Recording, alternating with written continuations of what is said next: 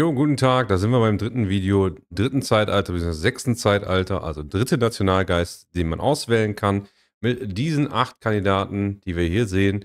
Wenn ihr die anderen sehen wollt, wie die eingeordnet sind, ich spoilere natürlich nichts, das heißt, guckt euch die Videos bitte an, Like, Abo und so weiter, damit unterstützt ihr mich immer, denn das ist ja immer ein bisschen viel Denkarbeit und ich hoffe, ich kann euch damit ein bisschen helfen. Denkt dran, immer auf der höchsten Schwierigkeitsstufe, Meister, Großmeister, ähm, natürlich werde ich auch mal auf leichter eingehen und was ich davon halte, aber meistens geht es halt eher um die hohen Schwierigkeiten und da soll auch der Eindruck mit gewonnen werden. Beginnen wir mit dem geköpften Kolonialisten. Der Kolonialismus. Auch eine Diplomatieeigenschaft in meinen Augen ab diesem Zeitpunkt der, ich glaube, Renaissance ist es ja dann, nee, Aufklärung müsste es sogar sein, ist es so, dass man eigentlich genug Diplomatie kriegen sollte, dass man die gut ausgeben kann, genug Händler schon hat und so weiter. Diesen Playthrough habe ich das auch genutzt. Ihr habt wieder so ein bisschen was mit Außenposten. Wobei ich den Kolonieaußenposten, den ihr ja haben kann, nicht so gut finde. Den könnt ihr hier, den könnt ihr ja freischalten durch Kolonie als Forschung. Oder hier könnt ihr den als Kulturkraft an jeder Position eurer Einheit setzen. Also wenn irgendeine Einheit irgendwo steht und die kann da einen Außenposten bauen, könnt ihr mit der Kulturkraft diese Außenposten als Kolonieaußenposten direkt hinsetzen. Das ist ganz nett, aber Kulturkraft ausgeben für sowas ist in meinen Augen nicht so super. Kolonie an sich, guck mal gerade, ob ich das hier nochmal finden kann. Die Kolonie an sich hat immer den, nee, habe ich schon weggemacht, leider, weil ich die Karawanenwächter brauchte. Aber die Vorschau auch nicht. Ähm, auf jeden Fall gibt die Handelsgüter. Diese Handelsgüter ähm, geben zwei Kultur. Das heißt, ihr kriegt zwei Handelsgüter, zwei Kultur. Habt ihr dann die nächste freie Handel, also diese nächste Fähigkeit, freie Handel freigeschaltet, kriegt ihr nochmal zwei Kultur. Das heißt, ihr kriegt so vier Kultur für den Kolonie-Außenposten, was ganz cool ist. Und auch ein bisschen Vermögen, glaube ich. Das ist eine ganz coole Sache. Das hier finde ich äh, unsinnig, also auf keinen Fall nehmen. Das, zu diesem Zeitpunkt sind keine kleinen Nationen mehr da. Lasst es sein, geht da nicht drauf hin. Schwachsinn. Der Freihandel ist das absolut stärkste in diesem Baum in meinen Augen, weil dadurch könnt ihr, selbst wenn ihr Krieg führt mit einer KI, all ihre Waren über die Importaktion einnehmen. Wenn ihr dazu mehr wissen wollt, Tippvideo müsste jetzt rauskommen, ist schon rausgekommen, kann ich euch gar nicht mehr sagen. Guckt einfach mal nach. Da sind ein paar Mechaniken, die ich auf jeden Fall als sehr leicht zu übersehen sehe. Und da gehört zum Beispiel dieser Handel mit dazu. Wassertransport, mehr Bewegung ist ja, ganz nett. Das kombiniert mit Sondereinsätze kann man tatsächlich mit Wassertransport über das Meer fegen. Das habe ich hier auch mal genutzt, ist aber natürlich sehr situativ interessant, dass vielleicht zwei Siedler. Wobei auch in dem, in meinen Augen, in dem Zeitpunkt, gerade bei höherer Schwierigkeitsstufe, müsst ihr eigentlich schon die ganze Map voller Siedler haben. Sonst hat die KI das schon gemacht. Oder ihr habt irgendwie luxuriös noch eine Position, wo ihr hingehen könnt. Ähm, so einzelne kleine Mini-Inseln sind sehr schlecht generiert im Millennia, von daher bringt es da nicht so viel. Bei Binnensee kannst du das bringen, Binnen- oder Binnenmeere heißt es ja, äh, hat eine sehr riesige Karte, weil es kein Meer in dem Sinne gibt, sondern einfach nur so kleine Seen überall. Und dadurch habt ihr sehr viel Platz. Da könnte es vielleicht noch nützlich sein. Ja. Und dann die Handelsfabrik ist äh, dasselbe wie der Handelsposten, nur dass ihr zwei Güter produziert. Das heißt, ihr könnt zweimal Öl, zweimal Kohle und so weiter und so fort bauen. Kostet wohl auch 60 Verbesserungspunkte. Und ihr kriegt ja auch nicht günstiger auf einmal. Wenn ihr natürlich Verbesserungspunkte ähm, kriegen könnt sehr schnell, dann könnt ihr das natürlich bauen. Ist dann auch auf jeden Fall eine coole Sache. Kann aber nur beim Kolonie- oder Standard-Außenposten gebaut werden, nicht bei der Burg. Ne? Kennt ihr ja bei den anderen Handelsposten ja genauso. Ist auch ganz nett. Ich finde es zu teuer für das, was es kann. Aber wenn ihr es rumliegen habt, ist es eine coole Sache. Dann könnt ihr maximalen Vasallenwohlstand erhöhen. Das heißt, eure Vasallen können mächtiger werden. Müsst ihr wohl auch immer die Städte gebaut haben, damit die mehr Bevölkerung unternehmen oder unterhalten können. Die wachsen dann schneller und können besser Verbesserungen bauen, geben euch mehr Ressourcen und so weiter. Und ihr kriegt zwei Händler, das immer ganz nett ist. Natürlich schon teuer dafür, aber kann man auf jeden Fall machen. Und die Lehnstreue einfordern ist ähnlich wie bei der feudalen Monarchie. Da könnt ihr auch einfach den, also bei der feudalen Monarchie kriegt ihr ja Bevölkerung dazu. Hier kriegt ihr halt den Wohlstand für vier Runden um 50 Prozent und ignoriert die Obergrenze. Das heißt, ihr könnt eure Vasallen mit Kolonialismus und feudaler Monarchie bis zur Unkenntlichkeit pushen, was eine sehr coole Kombination ist. Da kriegt ihr von den Vasallen dann nachher bestimmt schon 10, 20 Forschung, wenn ihr anständige Vasallen habt und die auch gut pflegt. Das ist schon sehr cool. Ja, ein vasallisiertes Territorium, äh, Territorium ist halt in meinen Augen 6 viel zu wenig. Wir kommen gleich zu den absolut schrecklichsten Bedingungen für ein Vermächtnis. Aber das hier ist eines der einfachsten. Sechs habt ihr immer. Also wenn nicht, dann spielt ihr falsch, weil ihr müsst natürlich gerade bei höheren Schwierigkeitsstufen viel Territorium haben. Jede kleine Vasall, jeder kleine Vasall ist für euch mehr Punkte. Ihr werdet nicht so viele Städte haben. Also mein Maximum an Städten war, glaube ich, mal sechs oder sieben. Danach wird es auch sehr teuer, die überhaupt zu kriegen. Ähm, deswegen habt ihr fast nur Vasallen. Und die sind dann halt, wie ihr seht, bei mir jetzt bei 19, habe auch schon viele erobert. Von daher jetzt nicht unbedingt das beste Beispiel. Insgesamt ja, finde ich gut. Freihandel ist halt super stark. Das ist nutzlos. Das kann man vielleicht noch situativ benutzen, ne, weil, ja, 'n Vasallen kann man gut pushen, ist aber auch sehr weit tief drin. Hm, ich finde es okay, aber nicht überragend. Ja, dementsprechend bei B würde ich es anordnen. Könnt ihr mal sagen, was ihr dazu sagt. Vielleicht wäre es so ein A-Kandidat. Freihandel ist schon sehr stark, aber wenn ihr zum Beispiel die KI angreift und die kaputt geht, dann kriegt ihr auch keine Ressourcen mehr. Das heißt, äh, also weil die ja dann keine Ressourcen mehr produzieren kann. Und ihr müsst natürlich immer Kontakt und Gesandte zu den jeweiligen KIs geschickt haben. Es ist gut, aber nicht jetzt sehr gut oder sondergut. Deswegen bleibt es bei B in meinen Augen. B plus zwar, aber B. Dann gehen wir mal zum Imperialismus. Kommandanten, äh, werden wir sehen. Also wenn ich Napoleon sehe, denke ich immer an Imperialismus. Also ist ja jetzt kein Napoleon, aber napoleonische Tracht zumindest so in der Art. Und dann haben wir den Kommandanten. Das heißt, hier geht es darum, dass wir einen Feldmarschall bekommen, den wird auch direkt erzeugt, also wieder der klassische Hau auf die Fresse ähm, Nationalgeist. Und alle Anführereinheiten kriegen eine Taktik dazu, weil der Erstfähigkeit ist sehr cool. Und ähm, ihr kriegt weniger, müsst weniger bezahlen für Beförderungskosten, finde ich ja, doch in der Zeit, zu dem Zeitpunkt wird es schon relevant, weil manche Kampfeinheiten tatsächlich dann irgendwann auch mal 50 oder 100 brauchen. Ihr generiert zwar auch viel, aber da kann man sich auf jeden Fall einiges sparen.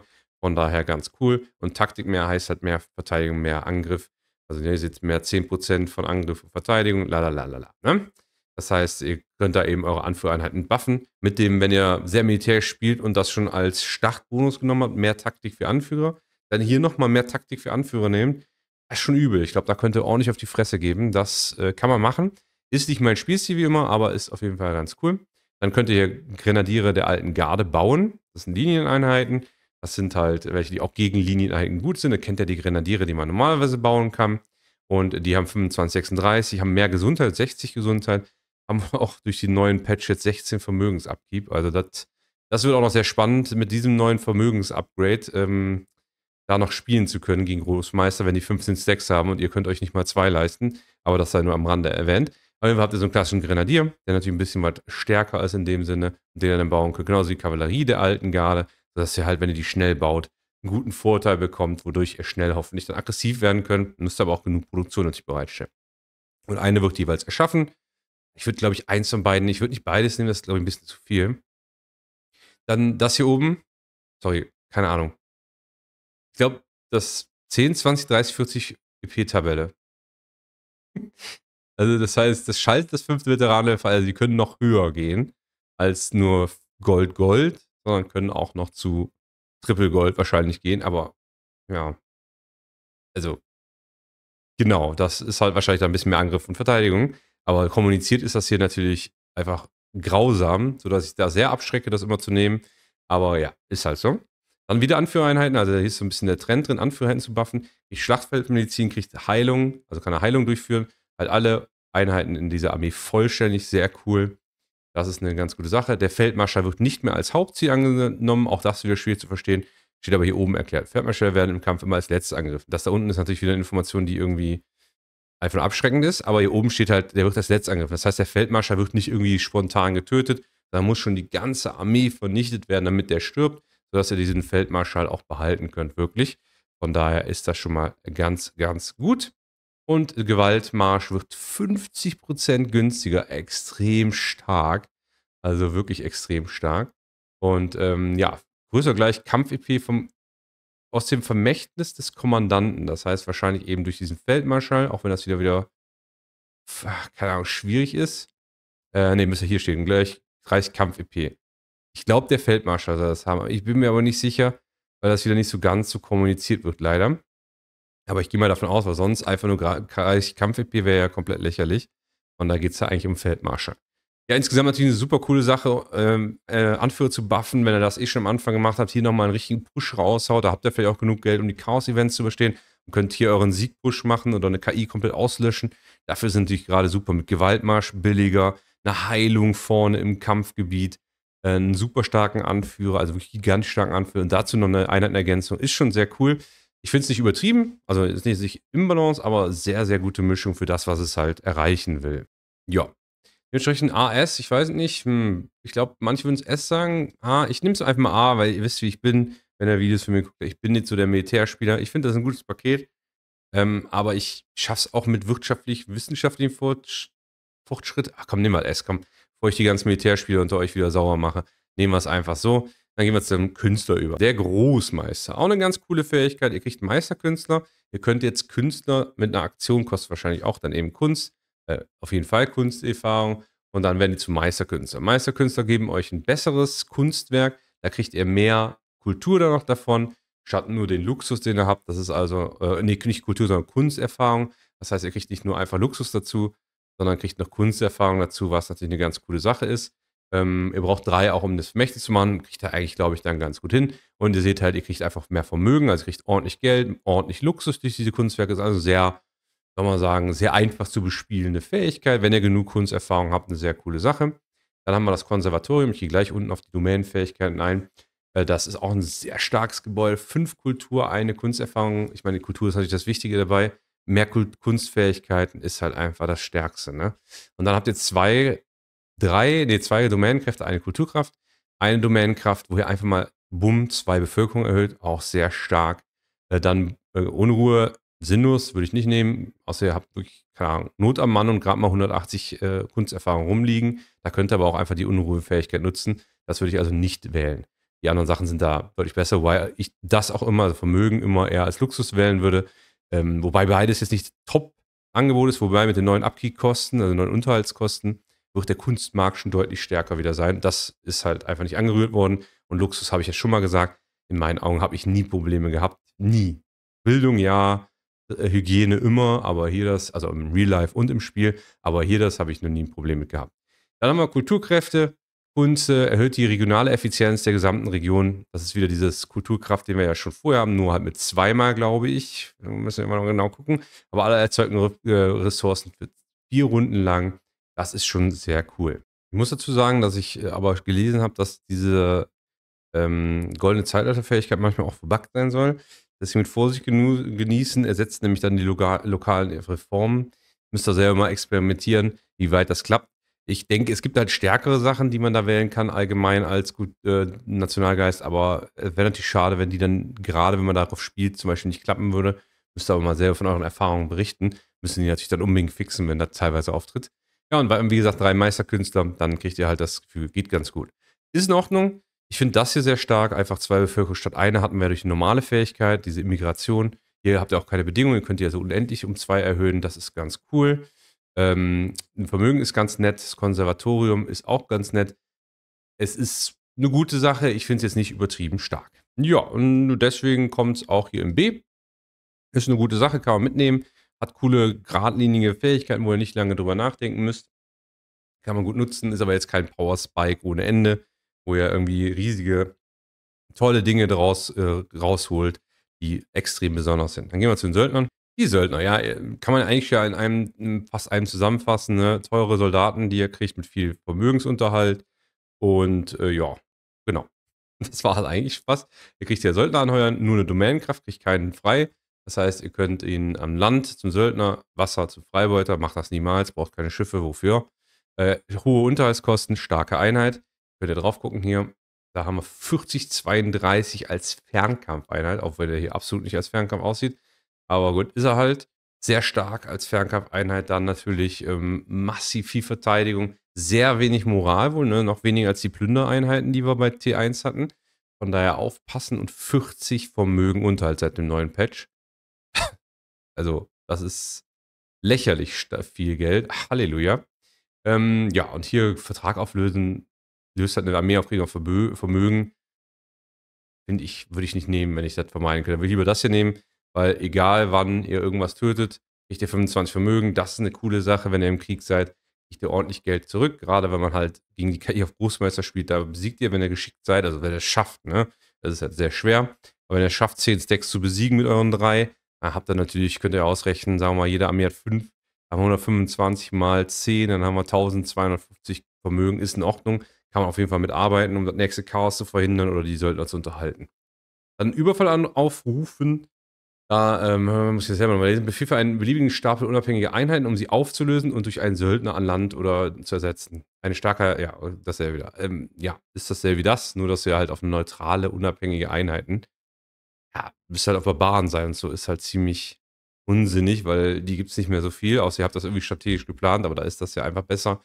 Aber ihr habt natürlich die Option, das einfach nochmal ein bisschen zu variieren, damit die Kosten gleichmäßig steigen dann wahrscheinlich. Ein Söldner-Ausbildungslager ist einfach Verbesserungspunkte 60 und kann wieder nur auf einen Standard-Außenposten gebaut werden, nicht auf eine Burg. Drei Vermögen, ein Kriegspunkt. Da ist ein Waffenlager mit einem Kriegspunkt für 20 wesentlich besser. Finde ich deswegen jetzt nicht übermäßig krass. Auch für so spät fände ich 20 Vermögen gut und einen Kriegspunkt. Dann würde ich es vielleicht in Erwägung ziehen mit 6 Verbesserungspunkten. Aber drei Vermögen und einen Kriegspunkt. Wenn ich was für einen Kriegspunkt für 20 kriege, drei Vermögen kannst du dir in den Hintern klopfen. Wenn die mit Einheiten mittlerweile 40 kostet, oder auch ja jetzt mit dem neuen System in den sechsten Zeitalter, oh Gott, wie waren es nochmal? Vier? Ich glaube so ein 8, 12 oder so was. Also da ist ja 3 in 15 Wind. Oh, Entschuldigung, ich meine natürlich äh, ein, ein, ein Tropfen auf dem heißen Stein, genau. Konjunkterium, bilaterale diplomatische Aktion, damit komplett nutzlos, könnt ihr wegschmeißen, wenn beide Seiten zustimmen bei der KI.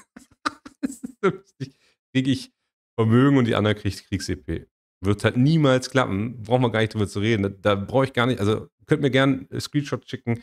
Vom Gegenteil, ich werde es niemals glauben, ich werde niemals dafür Geld ausgeben, also niemals hier EP ausgeben, auf so einer hohen Schwierigkeitsstufe wie Großmeister, wo die alle den Krieg erklären und konstant Hass erfüllt sind, wirst du so eine Fähigkeit nicht durchsetzen können. Anführer einer Aktion, die einen Söldner an ihrem Standort erstellt, also Anführer können dann einfach hier Schutzarmee, also einen Söldner erstellen, halt Thema als Söldner. Und dann anheuerbare Einheit 0 von 6, also 6 Söldner wären es halt oder Freibeuter. Und dann kriegst du es freigeschaltet. Ja. Ist halt so diese Gimmicky-Söldner-Sache. Ich finde es mit dem Buff, äh, Nerf meine ich jetzt auch viel zu teuer. Ich meine, wer will sich das leisten? Ich kann schon verstehen, das ist bestimmt sehr stark, wenn man da viele braucht, Push von den Viechern mit der Reputationsfähigkeit dazu. Kann man, glaube ich, ganz gut arbeiten. Ich finde es aber irgendwie nicht so stark. Ich weiß auch nicht, weil das oft so hier gezeigt wurde, hey Söldner, ich finde es nicht so gut. Also da ist halt der Kommandant deutlich besser. Hm, ich finde es auch jetzt mit dem, äh, mit dem Nerf, mein Gott, ich will mal Buff sagen, auch viel zu teuer. Also 40 Vermögen, das ist ja lächerlich. Die sind halt schon stark, weil es halt krass starke Fernkampfeinheiten sind. Aber es ist schon, finde ich, der Masse kannst du dir nicht leisten. Wenn du 10 dafür hast, ha, äh, davon hast, brauchst du 400 Vermögen.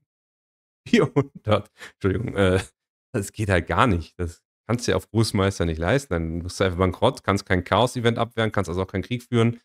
Es ist, ja, keine Ahnung, ich weiß nicht, ob ich das falsch verstehe, aber für mich ist das halt wirklich B minus C. Ich finde die Fähigkeit, ich, ich nehme es einfach, für mich ein C, ist mir egal. Könnt mich ja dafür haten, die zehn Leute, die das äh, sich antun und äh, sagen, jetzt muss ich einen Omni fertig machen, haut raus. Kein Problem, ist okay. Ich finde sie, ich finde schlecht. Ich, mit dem 40 Vermögen sehr starke Einheit, aber halt viel zu teuer. Dann gehen wir zum Sultan. Der hat die lustigste Vermächtnisfähigkeit. Wird nochmal lustig jetzt. Denn der Sultan hat die ganz einfache Vermächtnisfähigkeit, eine Bevölkerung in einer Hauptstadt nicht auf 30, nicht auf 40, nicht auf 50, sondern auf 60 zu haben. Ich habe noch nie in diesem Spiel, und ich habe das jetzt bestimmt 100 Stunden schon gespielt, weil ich kein Leben habe, habe ich noch nie eine Stadt mit 60 nicht mehr bei der KI gesehen. Das höchste, was sie am Ende hatten, war 40 vielleicht. Und bei mir war es 40, aber nicht 60. Und das ist noch nicht mal letztes Zeitalter, Nationalgeist. Was zum Teufel? Naja, gehen wir mal auf die anderen Sachen. Also das ist unmöglich in meinen Augen. Keine Ahnung, könnt ihr mir wieder einen Screenshot schicken. Neuer Palast, also ihr habt das gleich wie damals bei der Kaiserdynastie, diesmal einen neuen Palast. Den müsst ihr auch noch bauen. Den könnt ihr nicht einfach mit 20 Regierungspunkten reinsetzen. Finde ich ein bisschen ätzend. Kriegt 10 Regionslevel, das heißt natürlich, ihr pumpt natürlich viel, viel, viel, viel mehr äh, Bevölkerung. Darum geht es ja, damit ihr die 60 erreicht trotzdem krass. Ich würde es mal probieren eigentlich, aber ich sehe es halt nicht so durchs Regierungslevel, wieso ich das schaffen kann. Also Regierungslevel bringt doch kein, kein, kein, keine Nahrung, oder? Also es bringt doch nur Bevölkerungsmaximum. Ja, jetzt kannst du 60 erreichen, aber hm, vielleicht verstehe ich da falsch. Also ich finde es nicht gut. Dann haben wir eine dicke Kanone, kriegen wir direkt, können wir auch bauen. Ist halt, äh, ne? Eine typische Verteidigungszerstörungseinheit. Ihr kriegt aber auch Kanonen, reichen da eigentlich auch in dem Zeitalter, aber ihr habt ihr dann halt. Weiß nicht, ob das so sinnvoll ist, aber ihr braucht da auch den neuen Palast für. Den müsst ihr also auch bauen. Ihr müsst für alles hier den neuen Palast bauen oder freigeschaltet haben. Bauen, glaube ich, nicht unbedingt. Dann könnt ihr eine dicke Mauer haben, theodisianische Mauer. Ja, wenn ihr noch eine Mauer braucht, ja, brauche ich, weiß nicht, nicht unbedingt. Dann haben wir Hofhäuser, ist eine Verbesserung. Könnt ihr einfach viel Wohnraum haben und könnt noch mehr Vermögen haben. Ja, genau, kann man halt Wohnraum mitkriegen. Keine Ahnung. Ingenieursamt kriegt da viel Hygiene, wenn er das halt äh, bekommt. 10 und beim neuen Palast halt 30. Ist natürlich sehr stark. Damit könnt ihr wieder das Bevölkerungswachstum unterstützen. Handelsamt, neue Palast kriegt 15 Luxus, 15 Vermögen. Oben 5 Luxus, 5 Vermögen. Vielleicht, wenn man 60 Bevölkerung kriegen soll, braucht man sogar Luxus. Von daher will ich da jetzt nicht zu viel sagen. Ich finde es aber jetzt nicht besonders. Wenn es 50 Vermögen wäre oder 100 mit den neuen Abgibkosten, könnte es auch 200 sein. Dann, äh, ja, wäre es okay. So ist es, ja, genau, existiert halt. Dann haben wir Bildungsamt, kriegen wir halt Bildung und der neue Palast kriegt 15 Bildung. Das heißt, ihr könnt damit diese hohe Bevölkerung einfach unterstützen. Ja, also ich weiß nicht, ob ich es falsch verstehe, aber ich finde diese, diesen Nationalgeist sinnlos. Ja, und der muss halt komplett verändert werden, in meinen Augen. Hier ist ja auch nichts, was dir praktisch irgendwas voranbringt. Ja, du kriegst halt 10 Regionslevel und 20 Unruheunterdrückungen. Das heißt, du kannst viel Bevölkerung unterhalten, aber du kriegst ja kein Bevölkerungswachstum dadurch. Oh, jetzt nehme ich zum dritten Mal auf. Ja, hier ist der Omni aus der Zukunft. Hallo, ja, genau das wollte ich sagen. Ähm, keine Ahnung, warum mein Mikrofon rausgeschmissen wurde. Gut, gehen wir das Ganze nochmal durch. Sultane, was ich hier gerade erzähle und mich da voll drüber aufregen werde, äh, muss ich ergänzen in der Zukunft, denn mit jedem freigeschalteten Ideal, das stimmt schon mal nicht, weil das hier erst nämlich nicht so ist, obwohl du dafür 100 Ingenieurspunkte bezahlen musst, was schon sehr teuer ist, kriegt ihr massiv, steht hier, also erheblich Bevölkerung dazu. Das sind, um es in der Wikipedia nachzuschauen, kann ich euch gleich mal zeigen. Ich habe es jetzt schon gemacht, mach es gleich dann nochmal. Äh, sind das drei pro Feld, das heißt, ihr würdet 18 Bevölkerung dazu bekommen, was natürlich trotzdem noch in dem Technologiestand, den ihr in der Zeitalter der Aufklärung habt, niemals klappt, um auf 60 Bevölkerung zu kommen auch in der Zukunft wird das dann schwierig. Sagen wir einfach mal, also ich habe hier erstmal Nahrung bis zur Unkenntlichkeit. Luxus habe ich auch immer auf 200% genauer Housing. Gut, Hygiene ist schlecht. Sagen wir also, ihr seid besser in Hygiene, kriegt das irgendwie hin und kriegt den Glauben auf 200% gepusht, dann habt ihr vielleicht 25. Sagen wir, seid absolut Experten im Millennia, wisst wahrscheinlich jeden Trick, Trick und Kniff und äh, habt da irgendwie die beste Nationalgeist für wilde Jäger oder sonst was und ballert da 30 Bevölkerung hin. Selbst dann, wenn ihr dann diese ganzen 1000 Ingenieurspunkte gibt. Diese schlechten noch immer, da, da bleibe ich ja bei, und das, also da würde ich jetzt sagen, oder habt das schon gehört, diese schlechten Buffs für den neuen Palast bekommen. Zum Beispiel 15 Vermögen ist lächerlich. Dann, selbst dann habt ihr nur 18 Bevölkerung dazu und seid bei 48 Bevölkerung, was noch immer nicht 60 ist. Es bleibt also der Fakt, dass für mich Sultane ein Meme ist und nichts anderes. Es ist natürlich dann doch ein bisschen besser. Es bleibt trotzdem im Rang, den ihr gleich sehen werdet oder schon gesehen habt. Keine Ahnung, ich werde es irgendwie vor oder nachher sagen äh, irgendwie da reinbinden. Und das bleibt halt auch noch ein Fakt. Selbst wenn ich die 60 erreichen würde zu dem Zeitpunkt, wo wir jetzt in der Aufklärung sind, was wie gesagt eigentlich nicht möglich ist, weil das Spiel dafür nicht ausgelegt ist, wegen den technologischen Fortschritten, zum Beispiel Hygiene, müsstet ihr halt das ganze Gebiet hier vollpflastern. Und dann gehen wir davon aus, ihr habt zwei Städte und in der Aufklärung könnt ihr das dritte, die dritte Stadt bekommen, hier durch Öffentlichkeit. Dann könnt ihr die dritte Stadt bekommen. Das heißt, ihr könntet jetzt hier oben noch eine Stadt setzen. Ich sage auch, okay, ihr seid krasse Leute, ihr habt auf Einfluss richtig gepusht. Das heißt, ihr habt das ganze Gebiet hier noch dazu und komplett Manchester, okay? Nehmen wir alles mit dazu. Dann habt ihr trotzdem kaum die Möglichkeit, entweder durch die Verbesserungspunkte oder einfach von den Gebieten, die ihr habt, sinnvoll 60 Personen oder 60 Bevölkerung einzusetzen. Klar, ihr könnt hier vielleicht so einen Fisch für drei Nahrung holen, aber überlegt mal, was 60 äh, Bevölkerung auch für Nahrungsangebot braucht, um halt wirklich genug Nahrung zu haben, noch zu wachsen und stabil zu bleiben. Oder was es bringt, da jetzt hinzugehen oder vielleicht auf diese Haus Häuser, denn die bringen ja auch irgendwie 5 Gold je nach Haus, ihr Haus 5 Gold, zu gehen. Das heißt, ihr könnt auch die 60 gar nicht unterhalten. Deswegen nochmal, ich möchte mich entschuldigen, ich habe das vergessen. Ne? Das kommt hinzu, ihr habt drei Bevölkerungen pro Karte. Es bleibt trotzdem, weil es der teuerste Punkt ist, also die Ingenieurskunst, ähm, es nur 18 Bevölkerungen sind, die Technologie dafür nicht ausgereift ist und ihr trotzdem in meinen Augen nicht die 60 erreichen könnt bleibt es trotzdem Meme. Ja? Nur, dass ihr das noch gehört habt. Ich füge das ein ins Video und dann könnt ihr ja selber mal, mal die Meinung sagen. Ich habe ja schon mal gesagt oder werde noch sagen, zeigt mir, wie ihr es geschafft habt. Vielleicht habt ihr das hingekriegt, relativ gut und zügig und seid echt die Pros. Ey, dann auf jeden Fall Daumen hoch, dann seid ihr echt cool drauf. Dann würde ich auch gerne wissen, wie ihr das gemacht habt. Naja, wisst ihr Bescheid. Und dann auch noch das teuerste Ingenieurspunkte. Keine Ahnung, ich kann dir nichts abgewinnen. Also der kommt auf jeden Fall C. In meinen Augen sogar D. Ey. Das, das ist in meinen Augen irgendwie Meme oder so. Ich weiß auch nicht.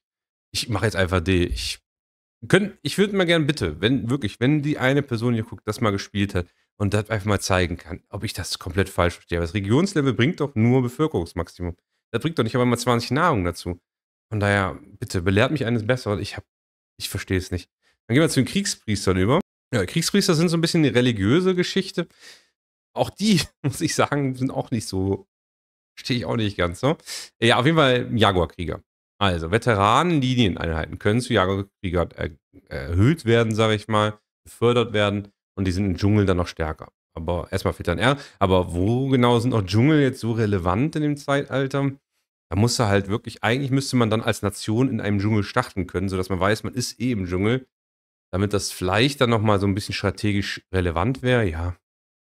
Gut, Jaguar-Krieger müssen wir uns auch mal ganz kurz angucken, bevor wir das vergessen. Ach, den brauche ich ja gar nicht rauszugehen. Hier vorne kann man sehen. 32, 45, recht stark. Okay, Moral. Okay, abgeben. Nein, 9 sind es bei dem Zeitalter. Okay, das geht ja noch. Das wären schon 14. Aber trotzdem natürlich nicht wenig. Ne? Da müsst ihr schon ordentlich was haben. Und halt viel mehr Kampfmodifikation im Dschungel. Kein Bonus gegen Linie oder sonst irgendwas. Ja, sind okay. Ne? Wie kriegen wir die? Halt durch dieses Befördern. Von daher ist es in Ordnung, kann man mitnehmen. Ein Dschungelbauernhof, da könnt ihr im Dschungel halt einen Bauernhof bauen. Für 45 Verbesserungspunkte. Und reduziert die Kosten. Expansion Dschungel. Äh, weiß nicht. Ist das im sechsten Zeitalter noch relevant? Nee, überhaupt nicht in meinen Augen. Man könnte einfach den Jaguar-Krieger nochmal waffen. Ja, das ist cool. Also das wäre tatsächlich relevant. Könnt ihr einfach stärker machen. Dann haben wir Pyramidentempel. Das ist eine Verbesserung. Kostet 20 nur. Könnt ihr aber nur einmal pro Region. Gibt halt Religion dazu. Und eine Kultur. Auch wieder, ja, nichts Starkes. Baut lieber eine Abtei in eurer, ähm, in eurer Burg und dann habt ihr das Gleiche. Von daher braucht ihr das nicht unbedingt. Ähm, ja, und dann könnt ihr zwei Einwohner in einer Region opfern für Kultur und Glauben ähm, mit mindestens drei Einwohnern an. Ist klar, damit es halt nicht auf Null runterfällt. Und dann kriegt ihr halt einen guten Schub dafür. Ob das sich lohnt, bei Kriegsführung Domänenkraft auch noch, wo ihr dann nochmal was bezahlen müsst, hm. Kommt auf die Kulturmenge an. Ich weiß nicht, wie die scaled und wie genau hoch die ist. Ähm, wenn die eine Kulturkraft raushaut, dann könnte es sich lohnen, wobei zwei Bevölkerung schon hart ist. Aber wenn er damit einen Heurikas durchpusht, vielleicht ganz cool, dann nimmt er die obere Linie hier und das. Habt da vielleicht eine ganz nette Geschichte. Und ja, die Domänenkraft Opfern erzeugt jetzt auch Jaguar-Kriegereinheiten bei allen Pyramidentempelverbesserungen. Das heißt Menschenopfer. Dann könnt ihr hier bei den Pyramidentempelverbesserungen allen, ne, das ist wirklich stark, wenn er diese Sachen hier kombiniert dann, müsste wohl auch sehr viel ausgegeben haben, kriegt er für jeden einzelnen Pyramidentempel nochmal einen Jaguar-Krieger, den ihr ja schon auf 1,5 gebufft habt. Das ist schon recht stark. Äh, kommt natürlich auch ein bisschen später, aber das macht natürlich dann eben diese kämpferischen Aspekte hier aus. Ist irgendwie sehr speziell, aber ja, passt halt. Dann haben wir Blumenkriege auf Hauptstadtziel anwendet, erhöhe den Glauben an deine Staatsregion auf diese Hauptstadt halt. Gut, dann habt ihr halt einen religiösen Push, ne? Wieder, das wieder dieser Fundamentalismus-Gedanke, vielleicht wenn ihr vorher Ordenskrieger wart, dann Kriegerpriester, könnt ihr vielleicht was damit reißen. Ähm, ja. Vermächtnis ist einfach, braucht ihr halt die Pyramidentempel. Die Kosten sind natürlich immer noch sehr hoch. Ne, sind nicht hoch, genau, sind nur 20, also kriegt ihr auch locker hin. Schafft man auf jeden Fall, notfalls baut man so ein 30. wieder ab. Kriegt ihr also locker hin. Also die Einheit ist ganz cool, sehr stark, aber ihr müsst natürlich schon eure Bevölkerung dafür opfern. Ähm, das hier ist sinnlos, das finde ich jetzt auch nicht besonders, aber die Sachen könnte man hier gut kombinieren, um einen starken militärischen Push zu machen. Ich finde es aber jetzt nicht überragend, aber für das, was es kann, ist es schon gut. Ja, nehmen wir halt so ein B, ne? Ja, irgendwie, ist gut. Genau. Äh, ich würde dir doch vielleicht einen Arm, egal. Äh, jetzt gehen wir auf die zwei ähm, letzten ein und keine Sorge, die sind schon auf jeden Fall stärker. Die Gelehrten, der Klassiker schlechthin, den würde ich natürlich immer nehmen. Wenn er mich kennt, der weiß, dass ich sowas gerne mag. Ich finde die große Bibliothek aber nicht so super cool. Große Bibliothek könnt ihr einmal bauen und da kommt wieder Allianz oder offene Grenzen. Eine KI auf Großmeister oder Meister macht so gut wie nie eine Allianz, nur wenn sie total unterlegen ist. Das heißt, euer Militär muss weit über der Stärke sein von denen. Dann würden die überhaupt erst offene Grenzen in Erwägung ziehen. Und die pumpen, wie gesagt, 10 Stacks raus. Wenn ihr die vernichtet habt fast, dann würden die sowas machen. Alles andere nicht. Von daher, ja, bringt die Großbibliothek beim meisten Spielen einfach gar nichts. Dann, das ist cool, Bildung von Büchergütern. Das heißt, wenn ihr Bücher pumpt, was ich immer gern mache, die bringen ja Wissen, sehr gut. Könnt ich da einfach noch ein bisschen Bildung dazu, also dass ihr die Bildungsbedürfnis besser setzen könnt. Übersetzer ist auch ganz cool. Da müsst ihr, glaube ich, Kontakt mit der ähm, Nation aufgenommen haben. Dann kriegt ihr so ausländische Manuskripte und die könnt ihr halt dann umwandeln in drei Bücher also drei in drei ist. Natürlich, also könnt ihr, ihr habt eh schon drei Forschungen, sage ich jetzt mal, und könnt die dann halt in sechs Forschungen umwandeln. Wie gesagt, müsst aber Kontakt halt mit den anderen Nationen getroffen haben. Ob da noch andere Bedingungen sind, ich meine nicht. Ich glaube, nur der Kontakt muss hergestellt sein. Das heißt, wenn er vielleicht schafft, dann, ich glaube, man kriegt zwei pro Nation, meine ich irgendwie so, aber ist schon wieder länger her, dass ich die nochmal gewählt habe, weil die waren bisher mal vergriffen, sage ich mal. Aber ich meine zwei pro Nation, sagen wir mal, ihr habt drei also getroffen, dann könnt ihr zwei von diesen Übersetzern nehmen. Sehr cool. Könnt ihr einfach Wissen mal produzieren aus dem Nichts sehr, sehr stark auf jeden Fall. Dann äh, kostet, Heurika gibt mehr Wissen, super gut, kann man auf jeden Fall benutzen. Kulturfähigkeit, wenn ihr gerade mal nicht im Kampf seid oder so, immer auf Heurika in dem Zeitpunkt, wo wir jetzt im sechsten Zeitalter, natürlich, wenn es Heurika gar, fast gar keine Forschung mehr gibt, dann lieber ähm, lokale Reformen, eine Stadt bauen oder sowas. Aber hier kriegt ihr nochmal wesentlich mehr Wissen, was sehr cool ist. Und dann haben wir noch was Cooles, Gelehrtengesellschaft, könnt ihr einfach noch mehr Wissen kriegen. Ihr kriegt ein Buch automatisch erstellt und habt Bildung dazu. Wenn ihr die Bücher dann nachher noch irgendwie buffen könnt, das wäre natürlich schon legendär. Dann habt ihr natürlich massiven Wissen-Push hier. Und ihr könnt, wenn ihr nachher gar keinen Bedarf mehr an Erkundungsfähigkeiten habt, könnt ihr das hier noch mitnehmen. Dann könnt ihr einfach als Domänenkrafterkundung noch Wissen generieren. Ist wohl extrem wenig, kann ich wohl schon mal sagen.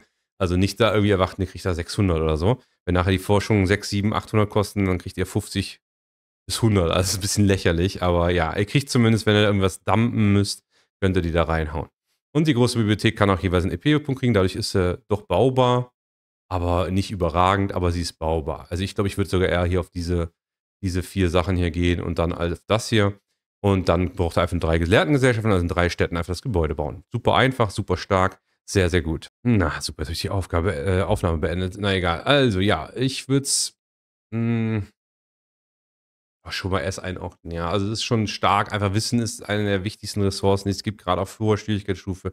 Wenn ihr am Ende irgendwie gewinnen wollt, müsst ihr gucken, dass ihr die wirtschaftlich und forschungstechnisch überholt, die KI. Und das geht halt mit den Gelehrten sehr gut. Von daher haue ich den S rein, auch wenn es S- ist in meinen Augen. Aber das sind sie beide. Also ich finde es beide nicht überragend in Ultra S. Aber Kommandant ist natürlich militärisch gesehen super krass. Und die Gelehrten sind halt im Wissen auch in den paar Fähigkeiten, die halt sehr viel Wissen pushen, sehr gut. Wenn ihr Allianzen kriegt, wenn ihr da irgendwie krass geschickt seid, auch da gerne Screenshots, Erfahrungen von her. Ähm, ich finde, das ist fast unmöglich zu erreichen. Aber wenn ihr es geschafft habt, aus, aber wohl in hohen Schwierigkeitsstufen. Ne? Nicht jetzt irgendwie in normal, also wo die passiv ist, die KI, sondern wirklich auf Meister oder Großmeister. Dann gehen wir noch zu den Erfindern. Ja, der Erfinder, natürlich auch ähnlich wie die Gelehrten, so, ähm, ja, nicht Wissen, aber halt Innovation, finde ich auch ganz cool. Kriegt einfach bei jedem Punkt die Innovation dazu. Denkt dran, die verfallen ja irgendwann. Leider kriegt man ja nicht für immer. Ähm, und ihr kriegt eine Erfinderlaborverbesserung. Äh, wenn ihr hier Erfinderlabor als Ingenieurskunstfähigkeit nimmt, das ist ganz cool. Ihr kriegt einfach eine Erfindung, ein Wissen. Diese Erfindung könnt ihr dann noch ein bisschen buffen, aber ist ganz, finde ich gut. Sehr gut, als einfach, könnt ihr einfach mal dazu. Und kostet wohl fünf Spezialisten. Müsst ihr natürlich auch haben, aber kriegt man, glaube ich, hin. Und diese Erfindungen geben dann ein Wissen. Ja, hier Hauptleiter finde ich 50 Wissen ist zu dem Zeitpunkt halt schwach, aber 20 Innovationen und 100 Spezialist ist sehr gut. Von daher kann man auch mitnehmen. Dann Spitzenforschung, das ist diese Kulturfähigkeit. Kriegt ihr 10 mehr, kriegt also 20 Innovationen. Sehr cool, wenn ihr auf Innovation spielen wollt, geht damit ab. Könnt ihr auf jeden Fall bauen. Ist auf jeden Fall eine sehr coole Sache. Innovation ist ja immer so ein Hit and Miss, habe ich ja schon mal erklärt. Äh, das ist, ja, cool mit rumzuspielen, manchmal richtig krass, wenn man da fünf Weltwunder gebaut hat und da noch Produktion dazu bekommen und da Wissen dazu bekommen. Das ist schon sehr stark, aber manchmal läuft es natürlich auch sehr leer. Trotzdem ist es eine coole Sache, wenn ihr da einfach so eine neue Taktik ausprobieren wollt, könnt ihr das auf jeden Fall sehr schön damit machen. Kann auch sehr mächtig sein dann. Universitätsgebäude geben halt zwei Ingenieurspunkte dazu, sehr cool, weil die Ingenieurspunkte immer wertvoll sind. Und ähm, ein Innovationsereignis wird in der, in der nächsten Runde geschehen. Extrem krass. Also diese Sache hier ist extrem. Ihr kriegt gute Erfahrungen dazu, ihr kriegt Innovation nochmal geschenkt und ihr kriegt ein Innovationsereignis umsonst sozusagen. Umsonst. Das ist schon sehr, sehr krass. Elektrizität, ihr kriegt einfach drei Energie, sehr stark.